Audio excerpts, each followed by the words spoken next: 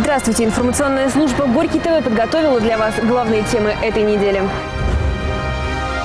Рабочие Олимпийские игры. Первый региональный чемпионат по рабочим профессиям WorldSkills проходит в Нижнем Новгороде. Конфликт в Роднике о попытке остановить ввоз мусора на территорию садоводческого товарищества «Родник» потерпели неудачу. Литературный Нижний. В городе возродили литературно-художественный журнал.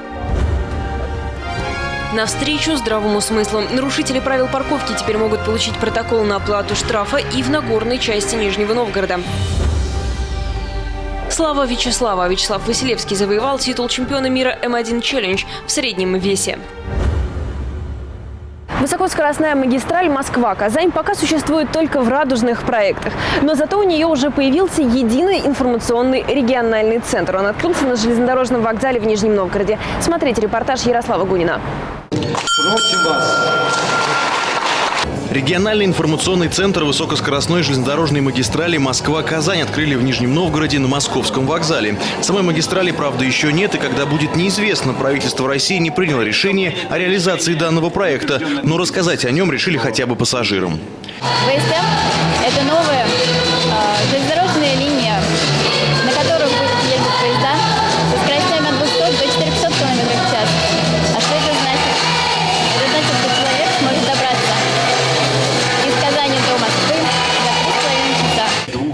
км в час пока только в теории. Скорость Сапсана и Ласточки на участке от Москвы до Нижнего пока не превышает 160 км в час. И назвать их высокоскоростными поездами язык не поворачивается. Впрочем, железнодорожники пообещали до конца текущего года время в пути Сапсана сократить, а в перспективе даже построить магистраль, которую свяжет Москву, Владимир, Нижний Новгород, Чебоксары и Казань. По расчетам, время в пути от пункта А до пункта Б составит 3,5 часа, то есть ровно столько же, сколько сейчас Сапсан добирается из Нижнего в Москву. Для этого даже создали Ассоциацию регионов-участников проекта высокоскоростной магистрали. Я подпись от Нижегородской области поставил. Вот, буквально в течение короткого времени все остальные поставить. Начнем работать. Планируется, что в Нижнем Новгороде появится крупный интермодальный центр, а станций будет две. Одна на вокзале, вторая в районе аэропорта. Здесь будет транзитный узел. В случае, если проект будет реализован, аэропорт выйдет на новую ступень своего развития. Мы рассчитываем, что минимум 5 миллионов пассажиров ВСМ дополнительно привезет к тем нижегородцам, которые сегодня летают. Поэтому мы считаем, что к 2020 году, в случае, если в 2018 году, например, ВСМ запустится, то рубеж в 10 миллионов будет сложный и того в аэропорту. Но, в общем, достаточно реализуемый. Затраты на строительство высокоскоростной магистрали оцениваются в 3 триллиона рублей. Даже инвестсовет Нижегородской области за все время своего существования проектов на меньшую сумму одобрил. Вопрос, где деньги взять, витает в воздухе. Китай вроде бы пообещал вложиться, но обещать не значит инвестировать. Журналисты поинтересовались, зачем тогда нужен такой центр. Информационный центр – это так, такая же часть реализации проекта, как финансирование, э, как технологии, потому что один из главных рисков – это риск общественный. Я по-простому говорю, да? Для чего нужно проект? Чтобы распилить деньги. Вот же, вот же год мы назад, как говорили. Мы что, давайте своими словами называть. Это не для этого нужно. Ясности ответ не добавил, но в конце концов в Нижнем появилась новая традиция открывать то, чего нет. На днях же открыли в городе памятник дяде Степе, которого тоже еще нет. Решение о реализации этого проекта еще пока даже не принято. Но как только будет принято, мы обязательно узнаем об этом в едином информационном центре. Садоводческий комплекс «Родник» уже давно не был комфортным местом для отдыха садоводов, на чьи участки разрастается огромная свалка. Но теперь даже журналисты, которые приезжают на место, чтобы осветить ситуацию, встречаются не только с недружественными взглядами охранников. В людей бросают камни. В дело вмешалась полиция и администрация района. На месте побывала Александра Рьянова. Попытки остановить ввоз мусора на территорию садоводческого товарищества «Родник» потерпели неудачу.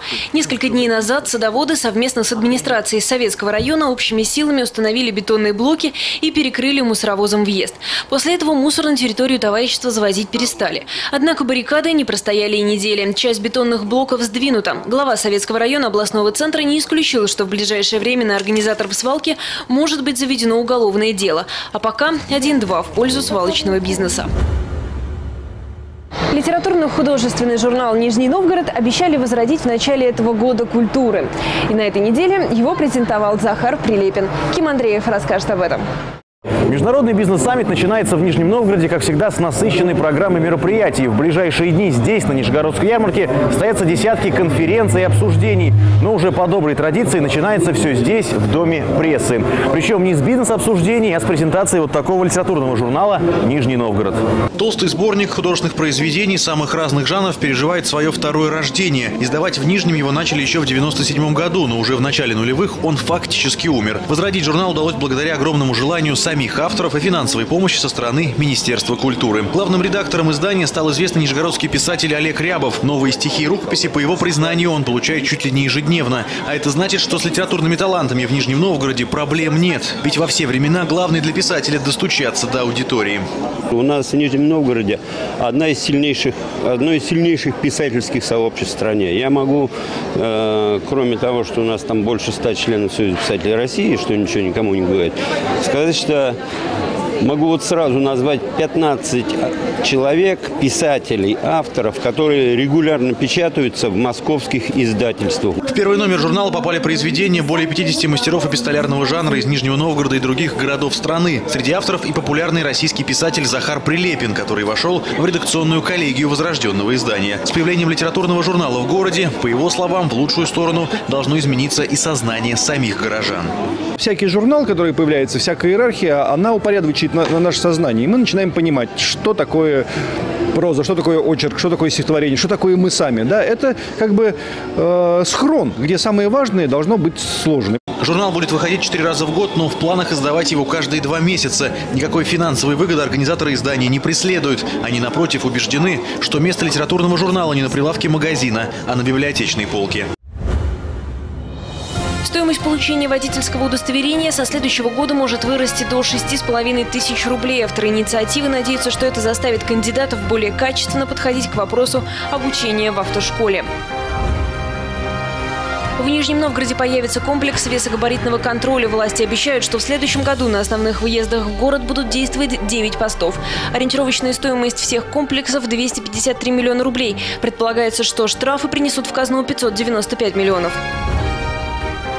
Всероссийский конкурс «Молодой предприниматель России» проходит в 60 регионах страны. Победители региональных конкурсов отправятся в Москву в октябре, чтобы расширить границы бизнеса за пределы региона. Победители федерального этапа будут награждены президентом страны. От Нижнего Новгорода впервые участвуют трое.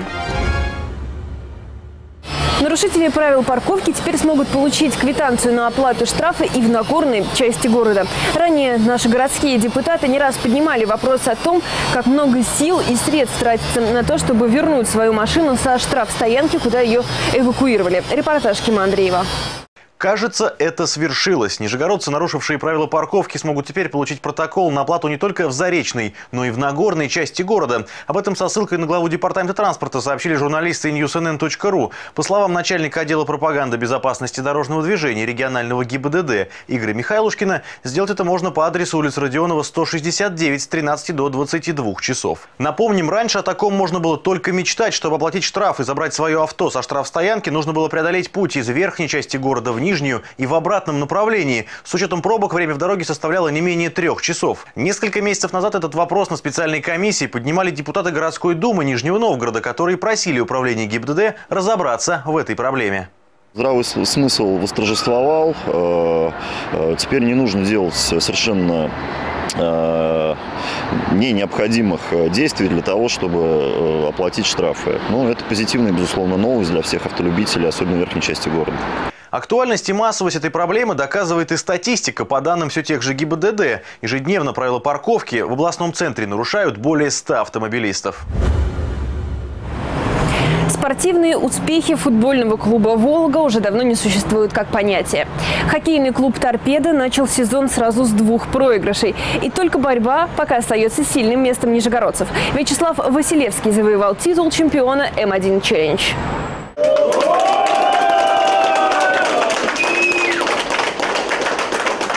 Так встречают чемпиона. Чемпиона мира M1 Challenge. Вячеслав Василевский одержал оглушительную победу на международном турнире по смешанному боевому единоборству M1 Challenge, сокрушив своего противника, действующего чемпиона Рамазана Эмеева.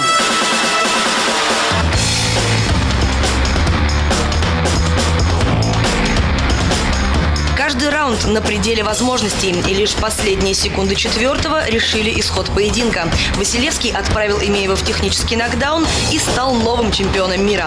О сопернике Василевский говорит с уважением. Вспоминает, бой был бескомпромиссным, противник опасным. Было видно, что он очень сильно мотивирован именно на бой со мной, поэтому он был очень опасен. Вот. Ну а насколько получился серьезный, э, серьезное сопротивление, в принципе, конечно же, видно даже по мне. Поэтому очень, очень серьезный, да.